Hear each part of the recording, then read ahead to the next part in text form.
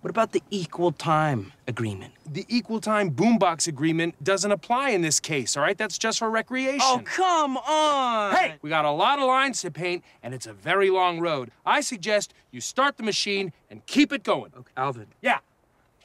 you have your tool belt on backwards.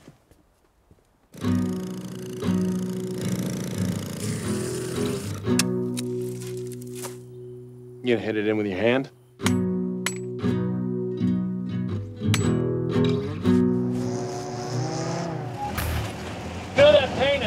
Is right?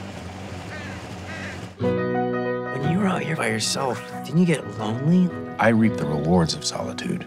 Huh? I get so horny out here in nature, don't you? Enjoy your hot fish.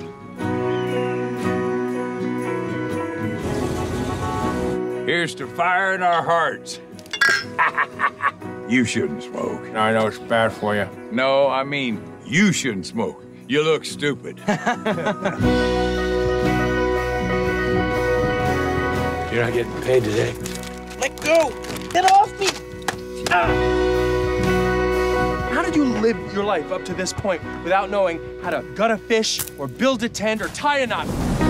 How did you live this long and not kill yourself for being such a boring loser who thinks he's so smart and good at everything? For your information, you're not! I thought that this job would be good for me to figure out a way to be happy with my life. You just need an adventure.